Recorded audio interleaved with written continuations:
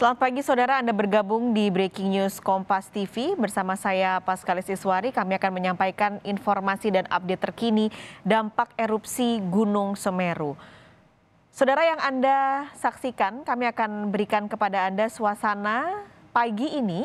Ini adalah suasana tadi pagi di wilayah pengungsian warga di Desa Sumberwuluh, Kecamatan Candipuro, Lumajang, Jawa Timur.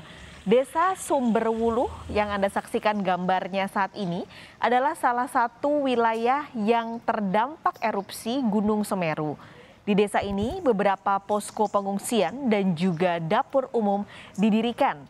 Bantuan logistik kebutuhan sehari-hari juga terus berdatangan. Tim gabungan dari kepolisian, TNI, dan SAR juga terus melayani kepentingan warga yang terdampak erupsi Gunung Semeru.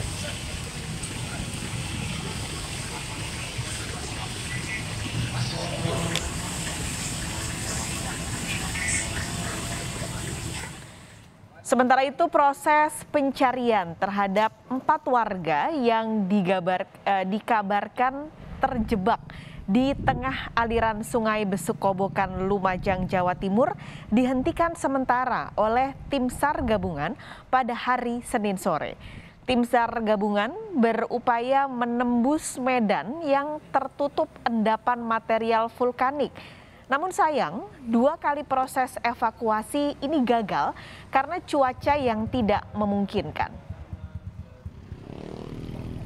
Sementara ini karena cuacanya tidak mendukung, ya, pencarian sementara diberhentikan, di off kan. Karena cuaca di atas sudah mulai nggak bersahabat. Jadi teman-teman relawan